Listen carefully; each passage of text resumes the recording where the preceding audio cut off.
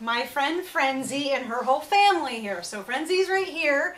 She's playing with her dad Deuce, who's upside down.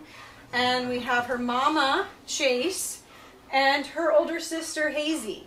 So this is our, this is Frenzy's family. We have a lot of fun together. They play a lot. And Frenzy wanted to introduce you to everyone after she shared a little bit about herself last week. She wanted to share with you about her family and who she lives with. So her mama Chase is four and a half years old, and her sister Hazy, who she loves to play with all day long. Hazy is 10 months old, her bigger sister. Frenzy's only three months old, and Deuce is two and a half years old.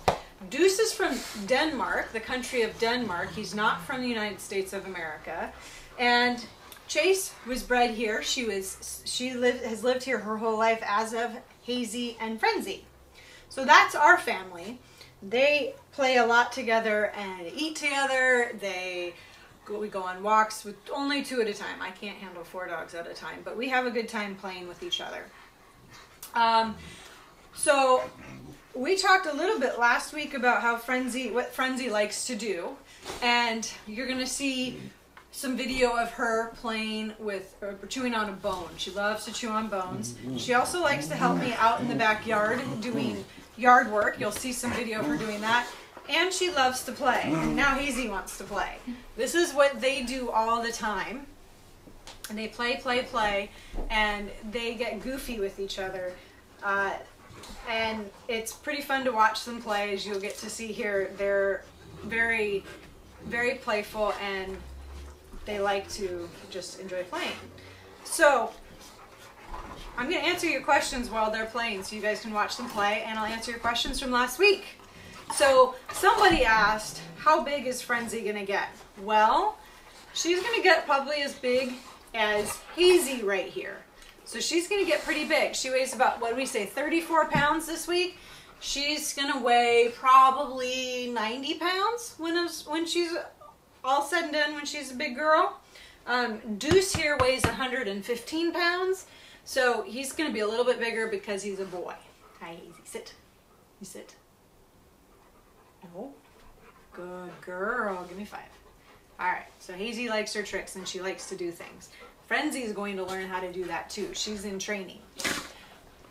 The other question you guys had is who's older? I think I already covered that Hazy's older than Frenzy. You can see how much bigger she is, so she's a lot older. The other question you guys have was Does Frenzy get crazy?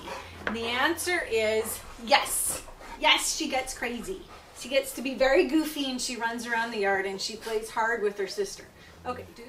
All right, we had to get rid of everyone else because they were getting too crazy. As somebody just asked, do they get crazy? They like to play a lot, and they're four very big dogs, although Frenzy is just a little squirt. That's my nickname for her, is I call her Little Squirt. So, the I was going to share a little bit about how to stop puppies from chewing things they're not supposed to chew. Somebody asked that question, how do you get them to stop chewing toys?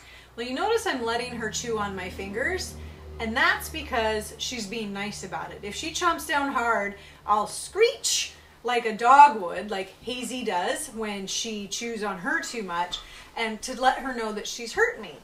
The other thing I do is to keep her from eating things that are mine is I give her something that's hers. So I give her a toy that she can chew on that's her toy and it substitutes it. So if they have something of yours that you don't want them eating on, like your fingers or a toy, is give them something they can chew on that that's theirs. And so she can work on that and play with that new toy. So that's how I stop her from chewing on my toys. The other big thing I'll tell you to get them to stop chewing on your toys is to make sure they're put away. I put my my my stuff gets put away. I don't have anything laying on the floor that I don't want Frenzy chewing on because Frenzy will chew on them. As you can see, she's trying to chew on me. So put things away, and if you can't put them away, have something else you can give them instead so they can chew on those things. So that's what I would do. Uh, we are talking about tricks. So last week we showed a spin. Come here, friends. I got a little piece of food here. Show a spin. Yeah, good spin. So we've been working on give five. No, sit.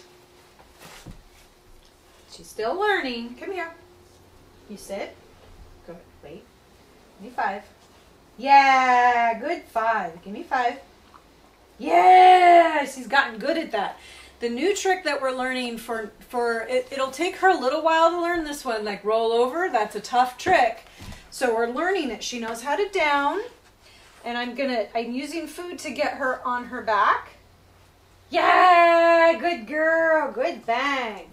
I put the word bang to it, but she doesn't know it yet, so I just give her treats and I get her into that position. Yay! Good bang, good bang. And we'll, we'll get that into a rollover, but we have to learn it step by step. We don't learn things 100% the first time. We have to build them up into little small pieces and then we put it all together and she'll get it.